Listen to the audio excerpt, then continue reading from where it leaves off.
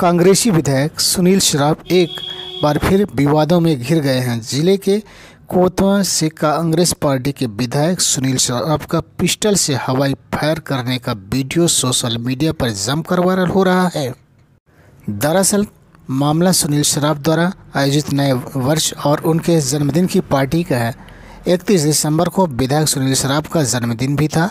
उसी मौके पर जब सभी अंगतु चले गए, उसके बाद सुनील शराब और उनके कुछ समर्थक ही मौजूद थे। उसी दौरान मंच पर डान फ़िल्म का गाना मैं हूँ डान गाया जा रहा था। तब उनके कुछ समर्थक मंच पर सुनील शराब को लेकर आए। उसी दौरान सुनील शराब तमंचे की नोक पर थिरकते हुए अपने लाइसेंसी पिस्तल से गोलियाँ भरी और हवाई फायर किए। हालाँकि कानून के जानकारों के माने तो सुनील शराब ने इस तरह से जो हवाई फायर किया है वो भारतीय दंड संहिता 336 का उदाहरण